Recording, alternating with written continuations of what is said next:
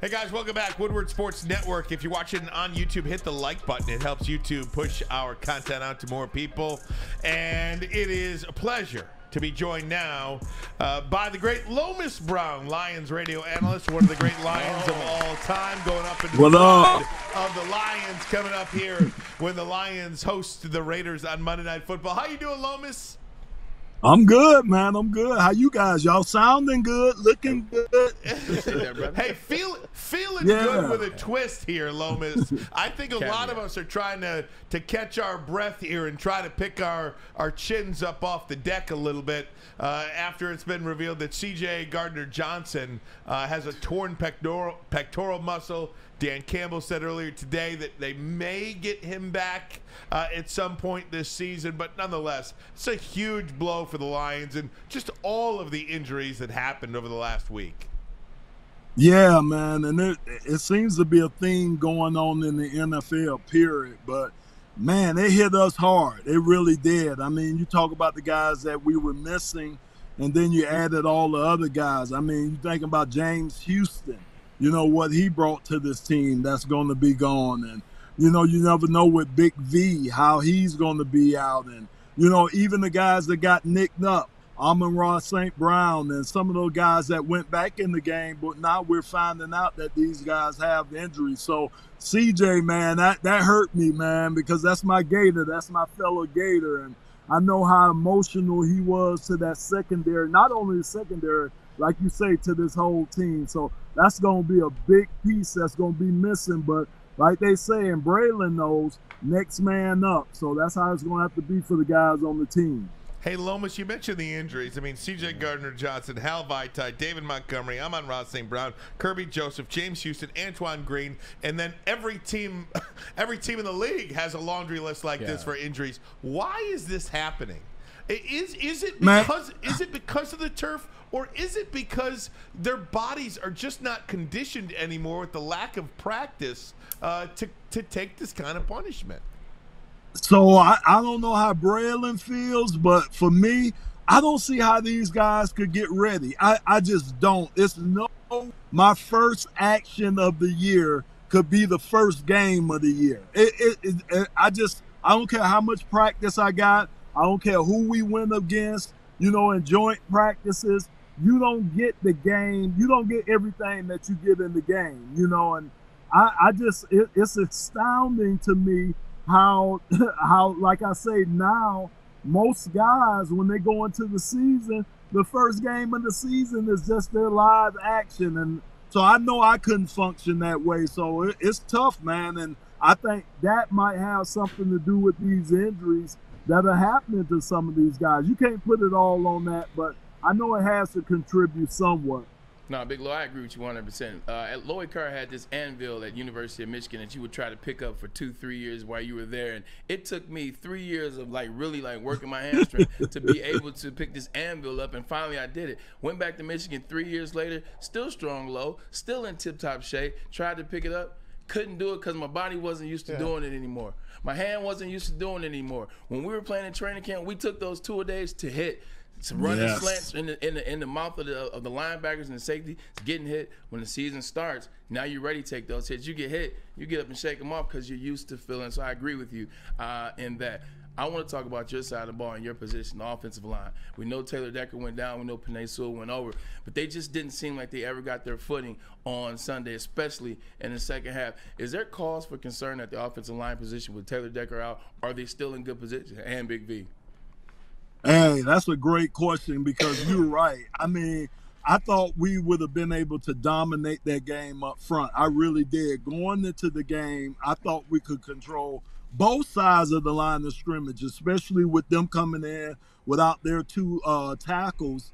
Um, but you know, for us to lose these guys, yeah, you you lose some chemistry off the offensive line because this was the you know last week. I'm, I'm sorry, the Kansas City game was the Yeah. first game that all five of those guys had started, and like you say, for them not to have Taylor, for them to have to move Penei over to the left side and bring in Matt Nelson, I just think it threw the chemistry off. But again, you got to win your one-on-one yeah. battles, Braylon, and that's what they didn't do. I mean, neither side of the ball did we really win our one-on-one battles. When you think about us having one sack, one quarterback pressure hit, and them having the opposite where they were getting to Jared, they may not have a lot of sacks, but they were putting pressure on Jared.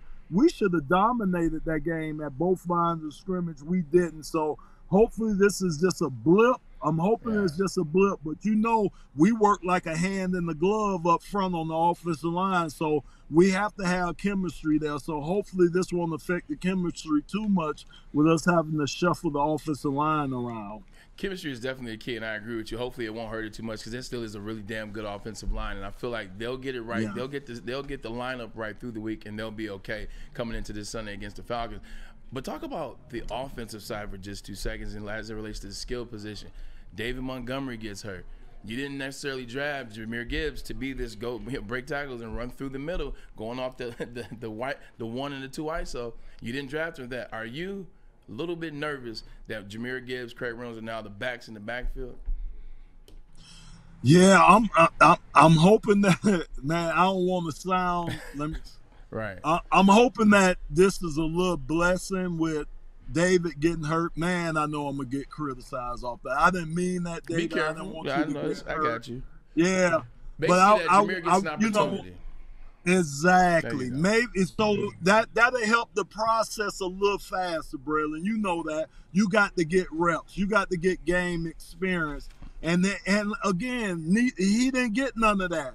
David has that. David can bounce back. David knows, you know, what to do. He's been in the fires. Jahmyr hadn't yet. So I think as many reps as he can get, I think he's only going to get better and better and better. You start seeing things. The, the, the offense starts slowing down for you and everything, and it would have helped. I think one thing that I watched in the game, man, right now, he's just reading fast. And what I mean like that is he's not giving his, his blocks a chance to set up right now and not really reading the hole. He had an opportunity in the game one time to stick his foot in the ground and get some good yardage, and he tried to mm, bounce it to the outside. But those things you learn, you're gonna learn you can't outrun everybody in the NFL or can't outfake everybody. So he's young, he's gonna learn it. So hopefully with these reps as he's gonna get over the next couple of weeks, hopefully that'll help speed up the process. Agreed. Hey, Lions analyst, former Lions great, future Hall of Famer Lomas Brown joins us. Low, I wanted to ask you about Sunday's game, a game that I thought they gave away. Uh, we've talked about the turnovers. You got to win that battle.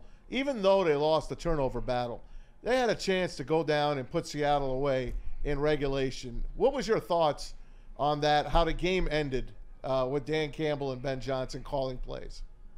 Yeah, I know they're catching a lot of grief about that. I, I, I really do. But, you know, again, a lot of times I think a lot of things happen early in the game that causes you to do certain things later on in the game. And, you know, I don't know why, because uh, Dan has always been this aggressive guy. Right. You know, that's just his nature. And it just seemed like he went against his nature, you know, the last, that last series of the, of, you know, of the game. So, you know, that's that's probably one he's probably soul searching. You know, after the Minnesota game last year, that was a game that you know that haunted him the rest of the year. And I think you know maybe some of the decisions that he made, I don't think he'll second guess himself, but I think it's something that he's probably gonna relive and probably think about. And when they come up next time, it, it it'll probably it might be a different result. But he's just been an aggressive guy and it was just out, out of you know uncharacteristic of him to kind of go out of the the nature of how he's been, especially late in the game, and especially you know when when the game's on the line and you can win the game, you know, because you play to win the game. yeah, one thousand percent. Hey, Lom, look, a lot of fans in the chat right now. They're like, "Damn, what are the Lions going to be?" A little nervousness. Give them a peace of mind. Ease them up a little bit. What do the Lions yeah. need to do? Change the game plan? Because look, this is still the same team. Couple injuries, whatever. One let's, and one. Let's, let's, let's take it back. let's take it back, Long. Give them some optimism, Big Long. Uh, hey, I got him. I got him, man. Look, They got we got an Atlanta team coming in town. They like to run the ball. Look, I, I think what we get we got to do again is we have to dominate the line of scrimmages. That's where it's gonna start and stop at on the offensive side of the ball. If we can run the ball, it opens up everything else for Jared, man. It opens up our game so much. And like I say, we need to get that young fella experience. On the defensive side of the ball, man, we got to, we got to bring it. Either we got to bring it with our four or five guys that we rotate up front with the D line, or we're going to have to manufacture pressure um, by bringing safeties or bringing corners. But we got to get these quarterbacks uncomfortable. You can't let a quarterback, I don't care if he's a first year or a 15th year quarterback, get comfortable. He's going to eat us up. Geno got too comfortable back there, uh, and you see what happens. So we're going to have to get to those guys early and often, as I like to say, and it's going to have to start with the guys up front. So to me, we got and we got the ingredients. So don't yeah. don't don't panic out there. We got the team, we got the people on the team to get it done. We just had to get it done. And I think we should be able to get it done against the 2 and 0 Atlanta Falcons this year. I'm not still sold on Desmond Ridder. And like you say, Hell they no. got Bijan Robinson there. And you're right, they don't know how to use their weapons. So let's not let uh, Ridder get comfortable and start using those weapons that he don't know how to use right now. uh, hey, hey, Lomas. Last thing, um, Jared Goff said that Sunday's game was the best home atmosphere he had ever played in yes, in any level of football. Uh, in high school, obviously college, the NFL. He played for the Rams uh, what have you. Can you describe how loud it was in that building on Sunday? It was loud. It was loud, but it wasn't the loudest that I've ever heard. So I'm gonna put a challenge out to the fans. Ooh. You know, hey, and I know we packed it in. I know we had a few more people in there at the Silverdome, but I'm telling you, that 91 Silverdome game, I'm telling you, you couldn't hear people talking to you standing right here next to you. Yeah. That's how loud it was. And then, like I say, I know we had a few more thousand than they have at 33,000 to be exact. Yeah, it, 33,000 to be so, exact. So, but, but yeah, so it, but it was, it was a great atmosphere. Game.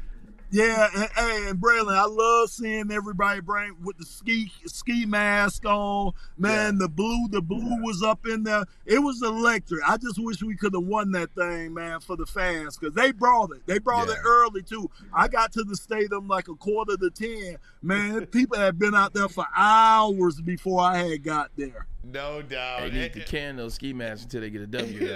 Just put them on the I know, I know, I know. Until we get a W. Hey, hey, Lomas, any chance if the Lions need a left tackle and a running back that you can call your friend Barry Sanders and saying. maybe you guys can suit up this week against? I got look, no players. Look, I'm. Hey, at the tender age of 60, I could give you one good play. and how and, and B and how B looking right now shape wise he hey. might be able, be able to only give you one good play right now. So Just you know, one. neither one of us, both of us, will give y'all one good play. I think we can break it out. Yeah, I agree. I agree. Uh, the great Lomas, the great Lomas Brown. We love you, Lomas. Thanks, Thanks so much for joining us here. Sir. Absolutely. Listen to Lomas Brown and Dan Miller. We love you. Lions Radio broadcast. Uh, absolutely. One of the great Lions of all time going into the Lions Pride coming up against the Raiders uh, in uh, October Monday Night Football.